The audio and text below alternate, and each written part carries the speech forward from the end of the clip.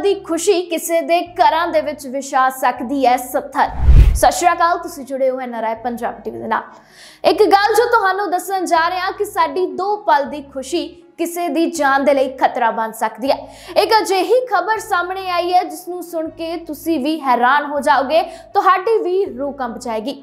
ਇਹ ਖਬਰ ਲੁਧਿਆਣਾ ਤੋਂ ਸਾਹਮਣੇ ਆਈ ਹੈ, ਜਿੱਥੇ ਕਿ ਇੱਕ ਛੋਟੇ ਜਿਹੇ 4 ਸਾਲ ਦੇ ਮਾਸੂਮ ਬੱਚੇ ਦੇ ਨਾਲ ਕੁਝ ਅਜਿਹਾ ਹੋਇਆ ਜਿਸ ਨੂੰ ਸੁਣ ਕੇ ਲੋਕ ਕਾਫੀ ਜ਼ਿਆਦਾ ਹੈਰਾਨ ਹੋ ਗਏ ਨੇ ਤੇ ਉਹਨਾਂ ਦੇ ਹੋਸ਼ ਉੱਡ ਗਏ ਨੇ।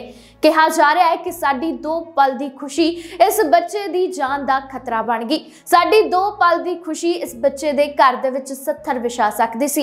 ਇਹ 4 ਸਾਲਾਂ ਦਾ ਮਾਸੂਮ ਬੱਚਾ, ਜਿਸਨੇ ਕਿ ਬੜੇ ਹੀ ਚਾਹ ਦੇ ਨਾਲ ਆਪਣੇ ਮਾਪਿਆਂ ਨੂੰ ਕਿਹਾ ਕਿ ਉਹ ਉੱਡਦਾ ਪਤੰਗ ਵੇਖਣਾ ਚਾਹੁੰਦਾ ਹੈ। ਇਹ ਸਫ਼ਰ ਕਰ ਰਹੇ ਸੀ ਉਸ ਵੇਲੇ ਸੜਕ ਦੇ ਉੱਤੇ। ਤਾਂ ਬੱਚੇ ਨੇ ਜਦ ਮਾਪਿਆਂ ਨੂੰ ਇਹ ਗੱਲ ਕਹੀ ਤੇ ਮਾਪਿਆਂ ਨੇ ਬੱਚੇ ਨੂੰ ਕਾਰ ਦਾ ਸ਼ੀਸ਼ਾ ਨੀਚੇ ਕਰਕੇ ਪਤੰਗ ਦਿਖਾਣਾ ਸ਼ੁਰੂ ਕਰ ਦਿੱਤਾ। ਪਰ ਉਹਨਾਂ ਨੂੰ ਨਹੀਂ ਸੀ ਪਤਾ ਕਿ ਇਹ ਪਤੰਗ ਹੀ ਉਹਨਾਂ ਦੇ ਬੱਚੇ ਦੇ ਲਈ ਕਾਲ ਬਣ ਸਕਦਾ ਹੈ।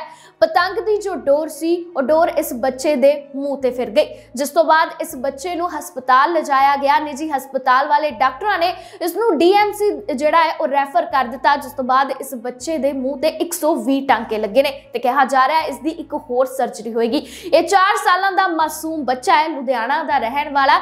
ਇਸਨੇ ਸਿਰਫ ਆਪਣੇ ਮਾਪਿਆਂ ਦੇ ਅੱਗੇ ਇੰਨੀ ਗੱਲ ਕੀਤੀ ਕਿ ਇਹ ਪਤੰਗ ਵੇਖਣਾ ਚਾਹੁੰਦਾ ਹੈ, ਪਰ ਇਸ ਨੂੰ ਨਹੀਂ ਸੀ ਪਤਾ ਕਿ ਪਤੰਗ ਵੇਖਣ ਦੇ ਨਾਲ ਇਸ ਦੇ ਨਾਲ ਕੀ ਕੁਝ ਹੋ ਸਕਦਾ ਹੈ। ਤੁਸੀਂ ਇਸ ਬੱਚੇ ਦੀਆਂ ਤਸਵੀਰਾਂ ਵੀ ਵੇਖ ਸਕਦੇ ਹੋ ਕਿ ਕਿਸ ਤਰ੍ਹਾਂ ਇਸ ਬੱਚੇ ਦੇ ਮੂੰਹ ਤੇ ਡੋਰ ਫਿਰ ਗਈ। ਉਹ ਚਾਈਨਾ ਡੋਰ ਸੀ, ਜੋ ਕਿ ਪੰਜਾਬ ਦੇ ਵਿੱਚ ਲਗਾਤਾਰ ਬੈਨ ਕਰਨ ਦੀ ਗੱਲ ਕੀਤੀ ਜਾ ਰਹੀ ਹੈ, ਪਰ ਬੈਨ ਹੁੰਦੀ ਇਹ ਡੋਰ ਨਜ਼ਰ ਨਹੀਂ ਆਈ।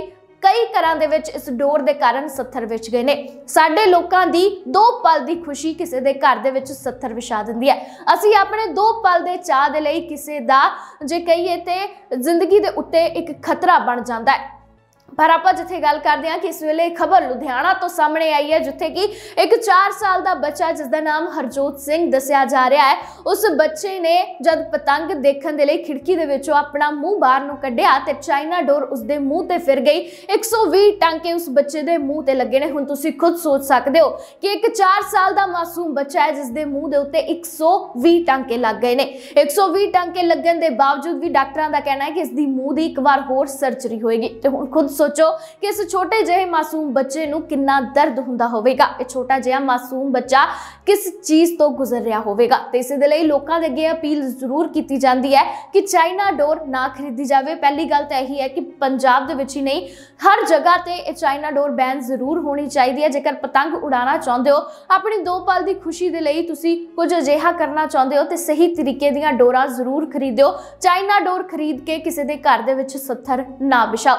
ਹਮੇਸ਼ਾ ਅਜਿਹੀਆਂ ਖਬਰਾਂ ਸਾਹਮਣੇ ਆਉਂਦੀਆਂ ਹੈ ਕਿ ਚਾਈਨਾ ਡੋਰ ਦੇ ਕਾਰਨ ਕਈ ਘਰਾਂ ਦੇ ਵਿੱਚ 70 ਵਿਛ ਜਾਂਦੇ ਨੇ। ਕਈ ਲੋਕ ਜਿਹੜੇ ਕਿ ਸੜਕਾਂ ਤੋਂ ਜਾ ਰਹੇ ਹੁੰਦੇ ਨੇ ਚਾਈਨਾ ਡੋਰ ਦੇ ਕਾਰਨ, ਕਈਆਂ ਦੇ ਗਲ ਦੇ ਵਿੱਚ, ਕਈਆਂ ਦੇ ਹੱਥ ਤੇ ਜਾਂ ਫਿਰ ਕਿਸੇ ਹੋਰ ਤਰ੍ਹਾਂ ਜਾਂ ਫਿਰ ਪੰਛੀ ਜਿਹੜੇ ਹੁੰਦੇ ਨੇ ਉਹ ਡੋਰ ਦੇ ਵਿੱਚ ਫਸ ਜਾਂਦੇ ਨੇ ਤੇ ਕਿੰਨੀ ਜ਼ਿਆਦਾ ਉਹਨਾਂ ਲੋਕਾਂ ਨੂੰ ਪਰੇਸ਼ਾਨੀ ਹੁੰਦੀ ਆ, ਉਹ ਆਪਣੇ ਘਰੋਂ ਬਾਹਰ ਕੰਮ ਤੇ ਜਾਣ ਦੇ ਲਈ ਜਾਂ ਫਿਰ ਕਿਸੇ ਹੋਰ ਜਗ੍ਹਾ ਜਾਣ ਦੇ ਲਈ ਨਿਕਲੇ ਹੁੰਦੇ ਨੇ, ਪਰ ਘਰਾਂ 'ਚ ਜਦ ਉਹਨਾਂ ਦੀਆਂ ਲਾਸ਼ਾਂ ਆ ਜਾਂਦੀਆਂ ਐ, ਤੇ ਸੋਚੋ ਉਹਨਾਂ ਘਰਦਿਆਂ ਦਾ ਕੀ ਹਾਲ ਹੁੰਦਾ ਹੋਵੇਗਾ। ਤੇ ਚਾਈਨਾ ਡੋਰ ਪੰਜਾਬ ਹੀ ਨਹੀਂ, ਬਲਕਿ ਹਰ ਪਾਸੇ ਬੈਨ ਜ਼ਰੂਰ ਹੋਣੀ ਚਾਹੀਦੀ ਹੈ